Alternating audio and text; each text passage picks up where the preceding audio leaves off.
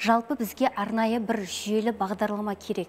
Не үшін? Өйткені әр қаланың өзінің мұқтаж азық түлікке қарапайым азық түлік қорабына мұқтаж жандар отбасыларының тегімен тізімі болу керек. не үшін? Өйткені мысалы бір отбасыға барайық иә? Көктал ауданының бір отбасына барсақ кіріп келген сәтте болашақ қорының жаңағы тағы бірнеше екі үш қордың қораптары тұр екен да.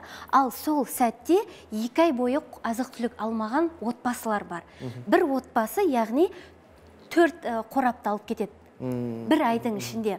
Сондықтан бір жүйелі жаңа нариман мырза айтқандай жүйелі бір бағдарлама шығарса осы IT мамандарыма әр қала өзінің тізімін ескеріп отырады да жанында птичка тұрады мысалы айта кетсек. Екіншіден осы жұмыс барысында жаңағыдай сабақ болатын дүние болды. Осыдан үш жыл бұрын пәтер кілтін сыйлап құжаттарын рәсімдеген сәтте кейін біз төрт айдан кейін білеміз ішкілікке салынып үйді ломбардқа салып кеткен екен.